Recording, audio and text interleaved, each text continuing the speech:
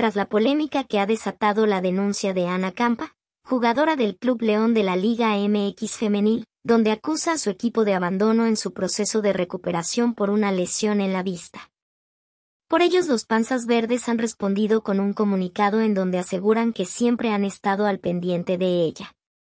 A través de redes sociales publicaron un mensaje con seis puntos que según ellos consideran importantes para esclarecer el tema.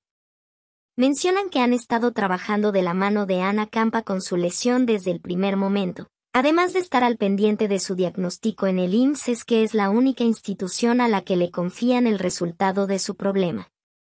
Entendemos perfectamente la situación que vive nuestra jugadora Ana Campa, a lo largo de estos años hemos visto y atendido todo tipo de lesiones, no hay nada más valioso que la integridad del futbolista. Se lee.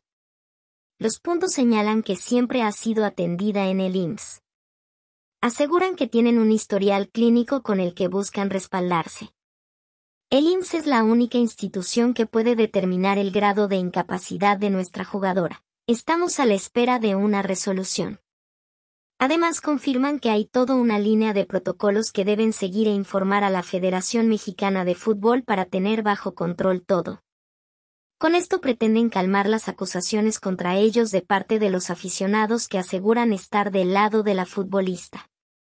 Por ahora la Liga MX femenil no se ha pronunciado al respecto. De igual manera Ana Campa tampoco ha replicado con ningún comentario para su equipo con el que no ve minutos desde septiembre de 2023 pero que está registrada para este clausura 2024.